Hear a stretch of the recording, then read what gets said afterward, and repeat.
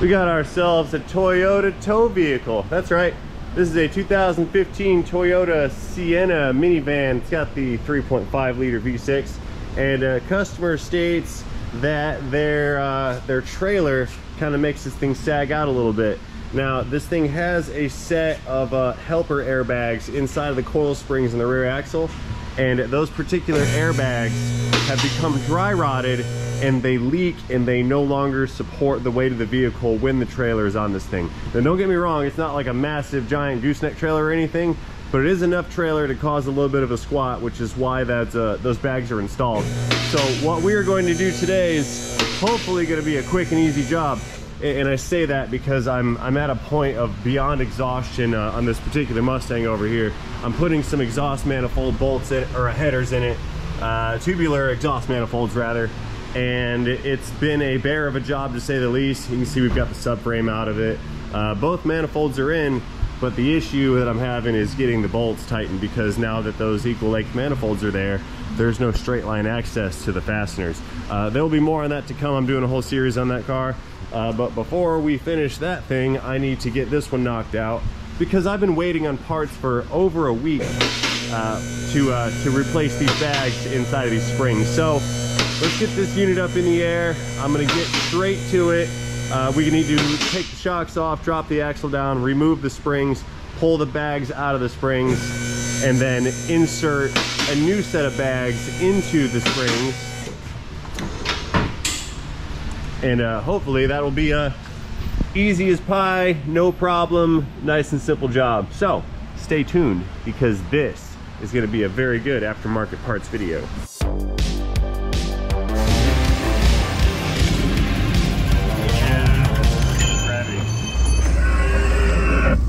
Here, no, this is not an infomercial. No, these people didn't pay me to uh, to install these components or anything like that or to make this video. I'm just simply replacing the torn out worn dry rotted rat eaten uh, uh, whatever you want to call it bags with a set of replacements what we need to do here is pull the wheels off i need to support the axle with some jack stands on either side and then we can remove the shock absorbers from the uh, the bracket right here that's going to allow me to lower the axle down taking pressure off the springs then we can pry bar the springs out, pull the bags out of the springs, put the bags back in the springs, then reverse procedure for installation. So that's the, that's the plan. Now, time is definitely of the essence here. Dave is at lunch and I have to get this car done today and I'm all out of lift. So I've got a Mustang torn apart here, the Mazda engine sitting on the ground over here and I need to knock this one out because like I said, it's been waiting for like a week for some parts. So I would ideally like to get this done before Dave gets back from lunch. That way he can have the lift back and then I can go back to work on the Stang over there. So uh, we're going to make haste. I'm gonna get through this super, super duper fast as possible. I'm on a massive time crunch. It is a Friday. Let's get after it. I hope it's gonna be a good video. If it's not, then, uh, well, then you guys are gonna click away and then you're not gonna subscribe to the channel and you're certainly not going to engage the like buttons. And that is uh, the antithesis of what the goals are here today with this particular YouTube video. So there we go, that's, uh, that's one wheel off to the other side with us. Oh yeah, and we're doing a set of pads and rotors on this uh, while I have the wheels off too. Forgot about that until I saw the condition that the rear rotor conditions were in and then realized I have more to do. So yeah, I'm jam-packed full of stuff. No pressure. No pressure. That was stuck.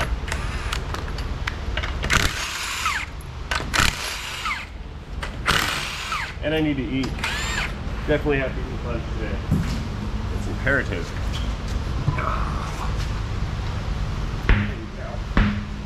Maybe I've got a feeling I will not be finished with this until after Dave returns. Maybe I can get Dave to slap the brakes on this uh, while I uh, finish up with the axle work. That uh, That's a good possibility here. So what I need to do, two jack stands. Each one of them is gonna go under the shock mount on either side. Take the shock off, let her down with the screw jacks, and then uh, we'll pop the springs out. So my big screw jacks are in place here. Let's go ahead and pull the nuts off for the shocks and the big washer set this stuff down.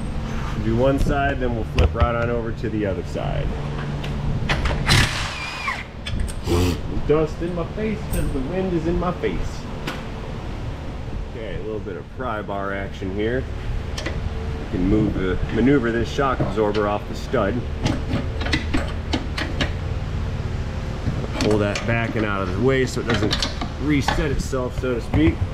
And repeat over here on the passenger side. Pry that guy off. Ooh, things moved. Some jostling just took place. So now, just lower these uh, screw jacks a little bit the other way. We're gonna lower it the other way. Oh, can't see. Horrible cameraman. This is letting the axle settle and come into a lower position that is relieving spring pressure against the axle. And then once that spring pressure is gone, we can, uh, we can pull the springs out, then extract the bags. I think I already said that. But in case you said it twice.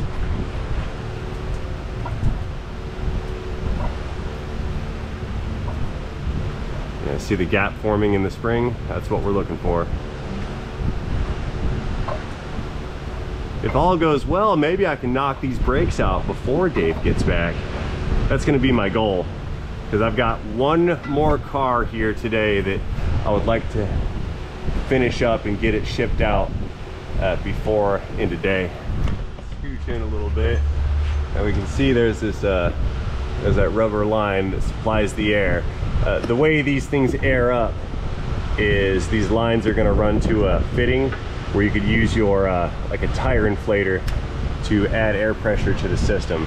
So fortunately for me, the plumbing already exists. Uh, all we need to do is just pull the bags out and, uh, and change them with replacement bags. Okay, spring. Let's pull this little puck out. This thing is necessary and will need to be replaced.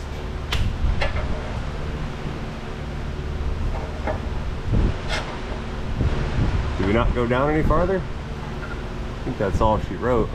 Here, I know, I'll lift the vehicle up some on the rack. Maybe that'll give me some more space here. Moving on up. Oh yeah. It's working.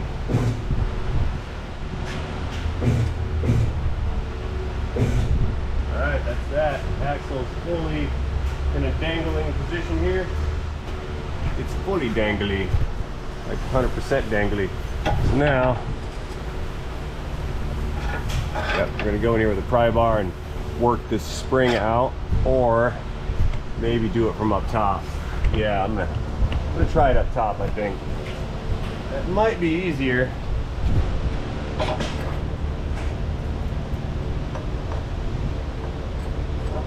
Maybe not.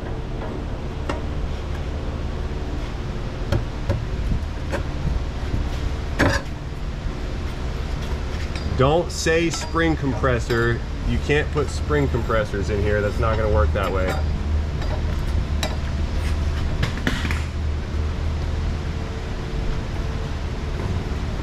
Bigger pry bar. Tell you what, I'm gonna take this uh, pry bar here, stick it in this axle, and then pry the axle down farther. There's no spring pressure here. It's all just kind of dangling pry it down far enough and then I can pull that out just like so. There we go. Let's put the isolator down. And that's one spring pulled out, removed. So now we just dig this bag out of here and get the new one shoved in. Let's see. I should just break it, cut it. It's not very pliable anymore It's just kind of brittle and crumbly.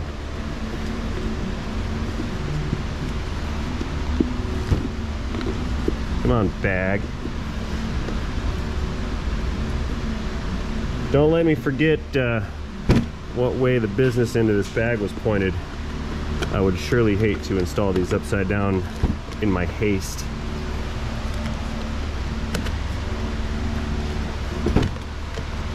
Simple mistakes like that happen. I was uh, I was in a super huge hurry one time, putting a crankshaft uh, pulley on a Jeep, you know, the harmonic balancer.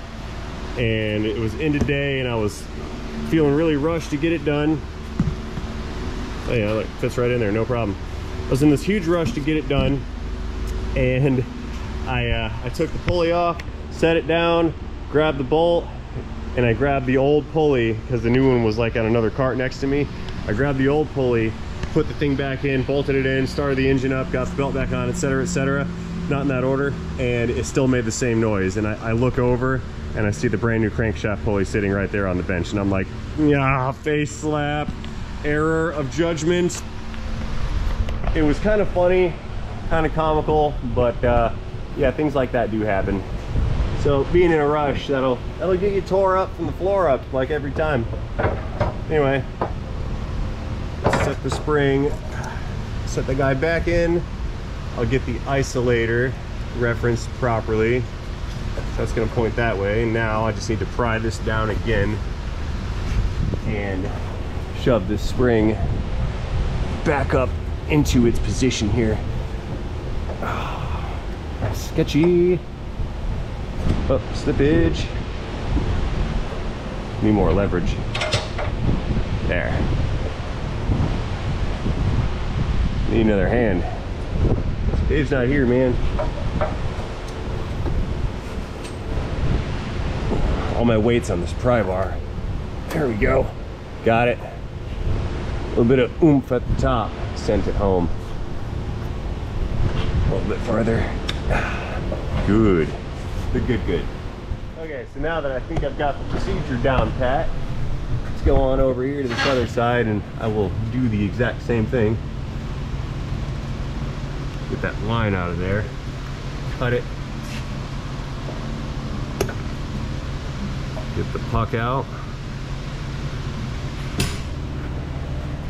Okay, pry bar going into the hole in the axle. And then we give this a shove downward, just like that uh, driver's side. Shove the axle down. I'd like that isolator to just stay up there where it is, but that's not going to work. Set that aside. Spring's coming out. Oh yeah, this is easier than I thought it was going to be. That Mustang had me, uh, well, she's spinning around. That Mustang's got me a little pessimistic. I'm very upside down in it. It's causing me grief, and I disapprove of my grief. Here, you know what? I don't feel like messing with this.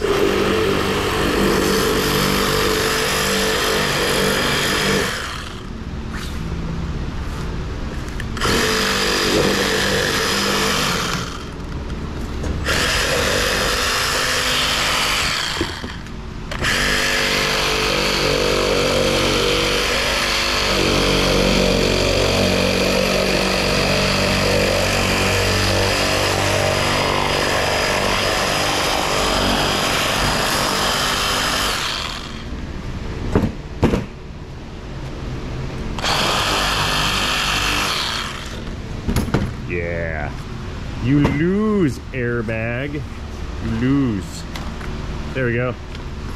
New bag going in. Perfect. And pucks to go with it. All right, I took a, took a quick intermission so I could inhale some food. I had a uh, buffalo chicken spicy wrap from Arby's. That's what Lauren got me. It was convenient.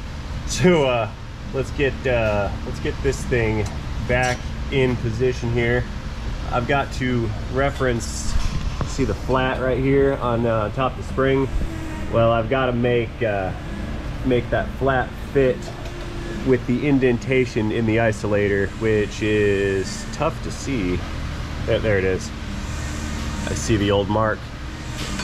Witness marks, they're great for lining stuff back up. So that's how that went. So what we'll do is stick that back in there like so. Hope you guys can see what I'm up to. Now I'm prying back down on that axle again. We're gonna shove this spring back into its position. Raw right there. Nope, missed it. There we go. Beautiful, okay. That's in position here, that's what we want. So now, I'm gonna grab those two pucks that go at the base of these springs get those in, then we'll jack this axle back up and reassemble. I have decided that I'm just gonna knock this brake job out because Dave is finishing up on a, another vehicle and I don't want to pull them 10 ways from Sunday. I don't like to do that to people. Even though I've, I do it to myself all the time, I'm not gonna do it to Dave. There we go. Here, I'll just put that down there to hold on to the puck. And that one already fell down, so we're good. So now, let me raise the van back up slightly.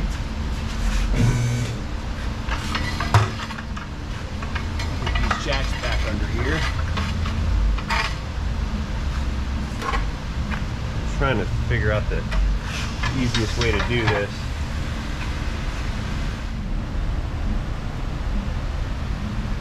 So here we'll just run this guy back up.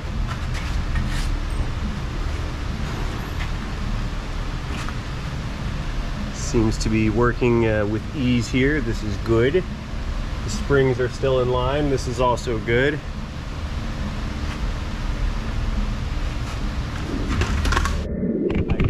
the uh, the other pole jack and put that back in position. Now what I'm going to do is just kind of slowly let the van down some in order to create some downward pressure on these pole jacks. And that's going to swing the uh, radius of the axle upwards and get everybody lined up. Coming down slowly, safety. Uh, okay. So we're changing angles and geometry here. If you look at the bottom of this pole jack, it's starting to lean and we're forming a gap on this side because the pole jack is coming this way at the top due to the geometric design of this axle. So what I need to do down here is just kind of kick that guy over. It's not kicking. Hammer that guy over and make it fit. Mad at time. You do this kind of thing incrementally not making super large adjustments.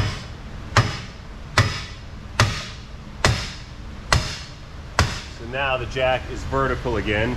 Uh, that other side did not do it, so we're going to continue to let this down slowly again until the proper alignment has been achieved.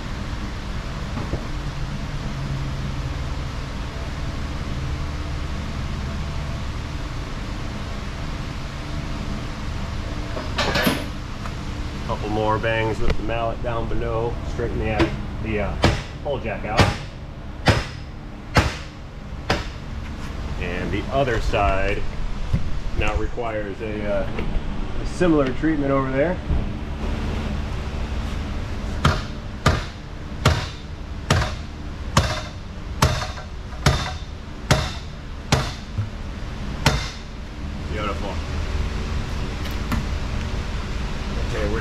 To, what do we got here, two inches? Yeah, about two more inches left. So, down on the jack, or on the lift, a little bit more.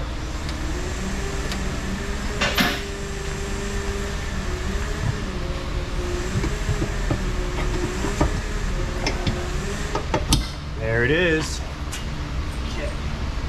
Throw the washer on it, get the nut back on it and then back over to the driver's side.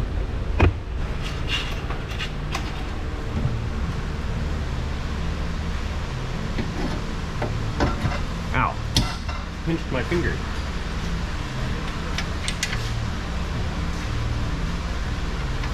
Excellent. So here, let's let this pole jack down. Or better yet, let's just raise the truck up. That'll work.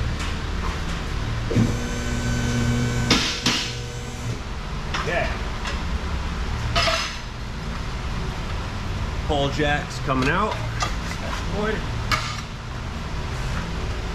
Let's go ahead and tighten down the shocks. That side. And of course, the other side.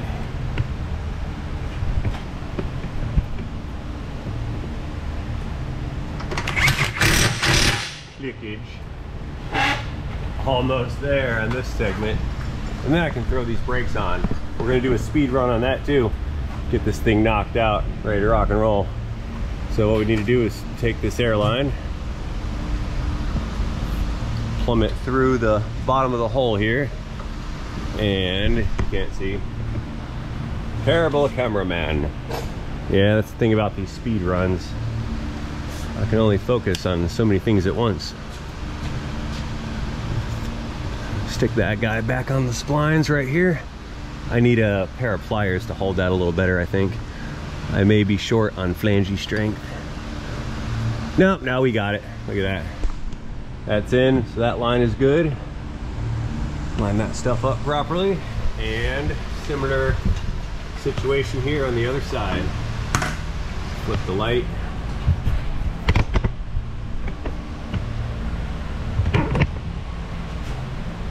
Take the hose, run it through the bottom. Reach in the hole. And wiggle that onto the fitting. That's good. Sell it up. And that is one bag replacement complete. Excellent. Woo hoo. So now, let's get the goodies out of here. I'm gonna rip through this brake job super quick like, and then uh, this truck's good to go because they need their vehicle back. It's been here a couple weeks, like I said, and, and I feel bad for such things. I don't like to have two, three week turnarounds unless it's a major project. This was a kind of a fairly minor project with the exception of a little bit of engine work, which we did a couple weeks ago. Had the intake manifold off of it for a set of spark plugs. This is the one where the dealership gave them like a, uh, I think like a $3,500 estimate or more, just for some random stuff that they kind of didn't need. Uh, regardless, I got them fixed up. So, uh, need a 13 and a, looks like a 16 to get these brakes out of here. And the speed run continues.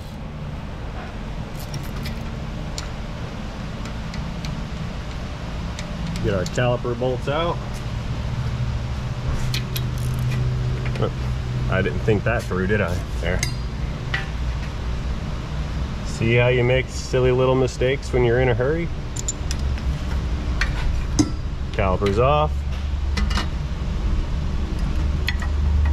Let's get these pads out of here. Yep, super thin.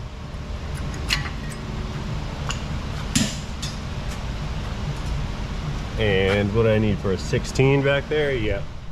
Let's see here, coming in backside of our rotor, looking down on it. There's that bolt. Unclickage. Oh, that's down there tight too. Come on, there we go. Neutral drop.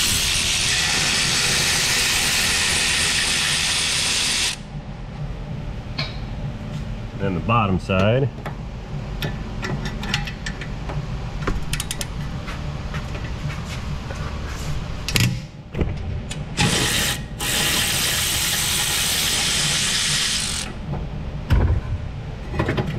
Excellent. Okay, let's get peeled off of here. Gonna need some hammer action.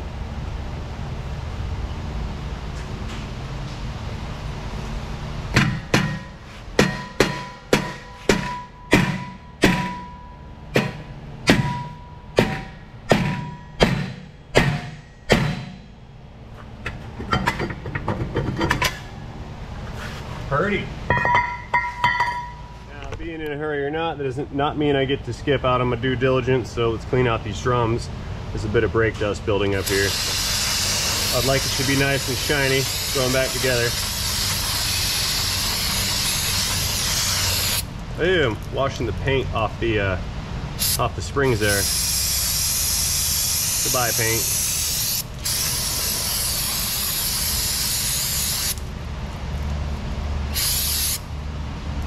That's very smooth. No polishing needed. Rotor coming in, and this is a coated rotor. So there's no oil on it, but you can see it looks like it's painted. It's not paint, it's just the, uh, the coating. It serves the same function uh, as the, uh, what you want to call it. Um, duh, it's escaping me. It serves the same functioning as the oiled rotors. There's a relief right here and that relief has to accommodate that little hole right there. I had it installed incorrectly. Off on a tangent. That little hole is to fill the plug so you can reach in there with a screwdriver and make an adjustment. Let me take this rubber plug out, I'll show you. That's for adjusting from the front side with an adjuster, but it's got a little rubber plug there that goes in that hole. You'd be surprised how many times people omit this when replacing a brake rotor. Stick that back in, there we go, due diligence achieved. Now let's uh, get the pads on the bracket and hang that bracket again. Let's back out of here and head over to the bench area real quick like. Take our old bracket and I need to pop the shims out and change them with the replacement shims that came uh, with the pads here. Get rid of that. Do these one at a time so that we can, uh, can match them up because they're often going to find that they're a different different shim for each uh, each location. That's not right. That's not right. That's not right. That one's right. There we go. So this one goes right in there like so. Pop the next one out. Match it up. Good. People elect on occasion to not replace these shims. Um, I am, uh, I include myself as one of those people. It's dependent on the quality of the, uh, the new shim and the condition of the bracket. Sometimes these are kind of rust jacked and you do not have the option to fit another shim in. They just, uh, they'll have a fitment issue. Uh, how did it go? This way. Yep. But these uh, these import direct branded pads, these are actually very high quality, and I like their shims, so I change them out. But not sponsored. That's just what I buy. They're not the cheapest, but I have yet to encounter an issue with this brand of shim pad brake product, or actually any of their other products for that matter as well. I've uh, they, they make more than just brake pads. It's actually pretty good stuff.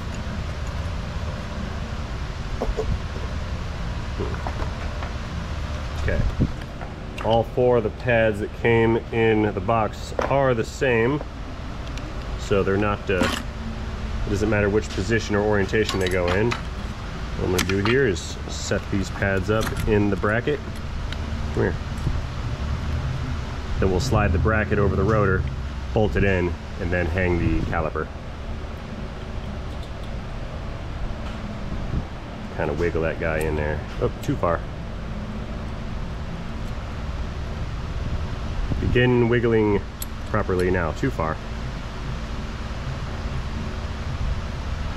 Not going to get me a third time. There we go. Okay, let's grease the slide pins. Can't forget the grease. Top and bottom. A little dab of purple lube here.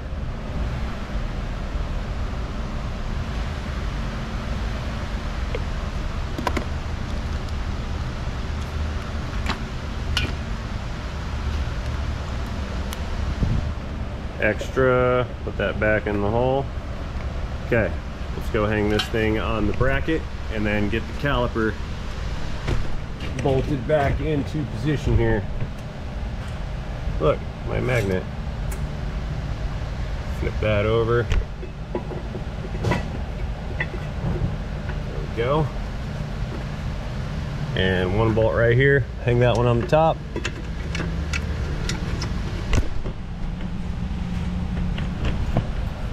second bolt down below give it the reach around treatment here kind of dark. Okay that one's in. Good. Around the back side so we can stop staring at the front of that rotor. Let's get these guys tight.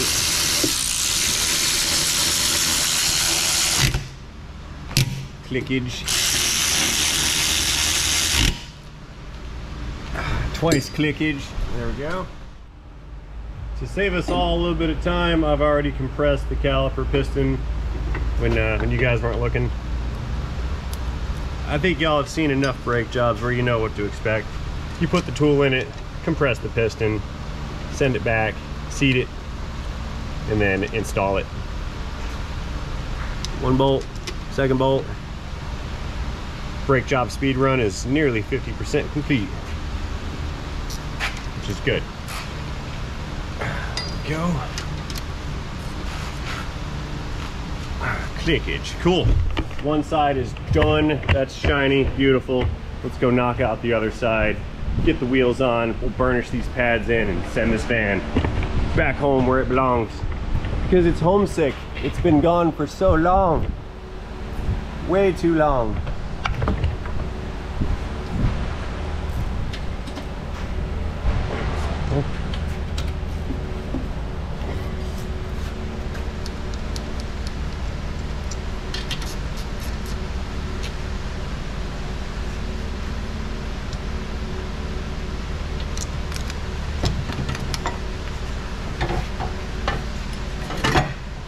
Now, you may have noticed from that other side that those pads didn't look horrible, but this one is the reason that we're doing a brake job. We're coming up on some paper thin action here, just a couple millimeters.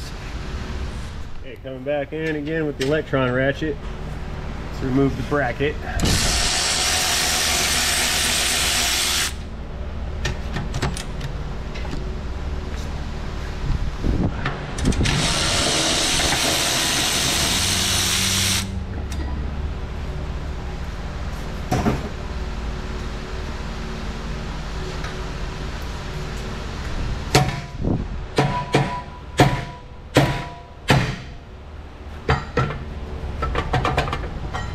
rotor removed.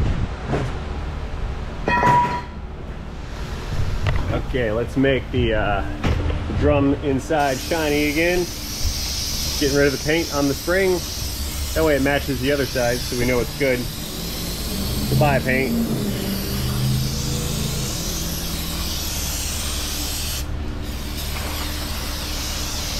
Excellent. Okay, paying mine to the indent. We've got the little rubber insert reinstalled on our new rotor. Slip that guy back over. This is good. We'll take the bracket and prep the bracket with the pads. Get uh, get those things set up and reinstalled. Then we'll rehang the driver's side bracket. Here, let's do it like this. There. Much more better.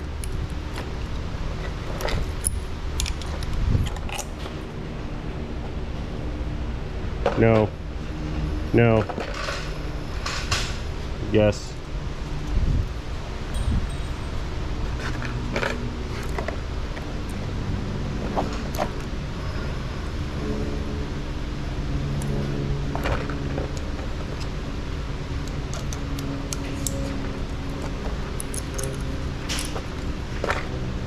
Yes.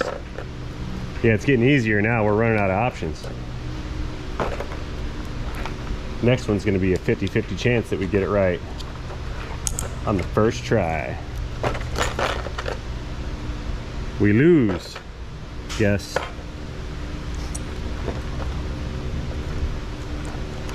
See, even though the odds were in our favor to get that right, we lost that one. That's why I, I don't gamble. Yes. There we go. Shims are in. No lube. It's running dry, folks. It's running dry.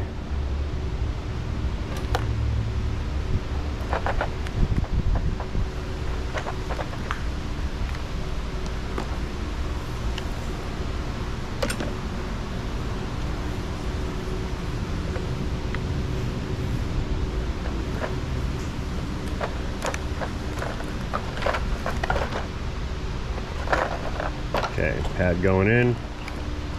At an angle, depress the little springs on those shims, slide it into the grooves, flip it, stick it, press it, push it, slip it out the back, oops, twice. Come on, there we go. And it fell out of the front. I pushed too hard and it fell out. There we go. Beautimous, okay. Back to the vehicle with us. Fastest brake job ever on YouTube, ever. Ever, ever. Forever, ever, forever, ever, ever. Okay, that stuff's in, good to go. Around the back side yet again one more time. We'll get those bolts in position, twist them, torque them, tighten them, and then hang the caliper. Again.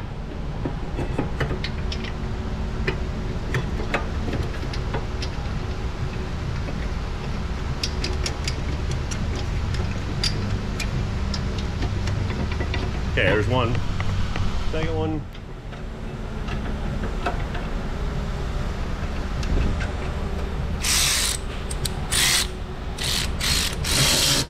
Did you guys see how I was maneuvering and kind of shaking everything around trying to get that to line up?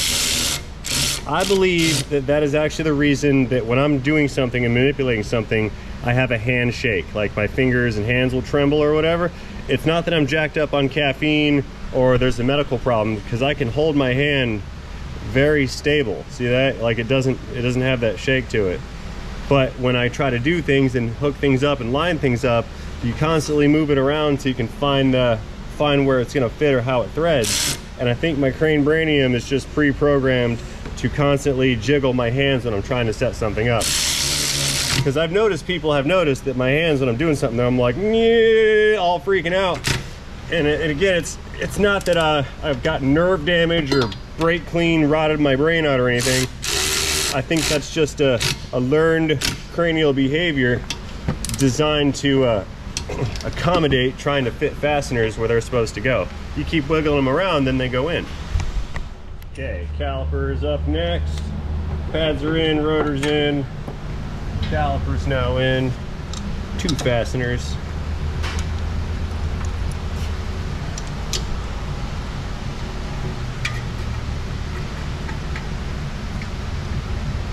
Is.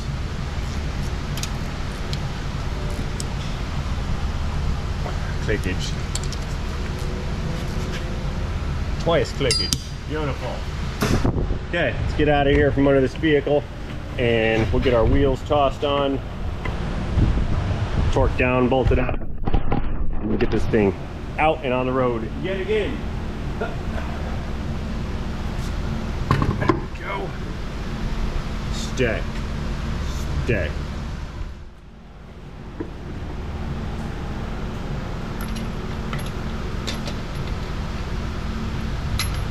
Hmm, I'm trying to screw these on with the wrong socket. I need a 21. What am I doing?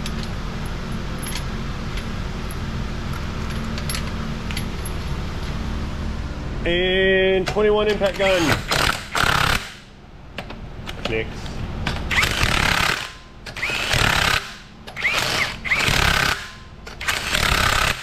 Beautiful.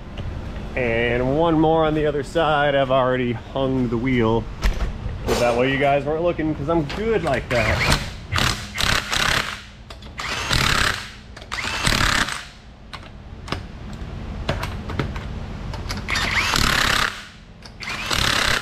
Woo! All right, van coming down. Service is complete. Let's take her out on the road and break these brakes in.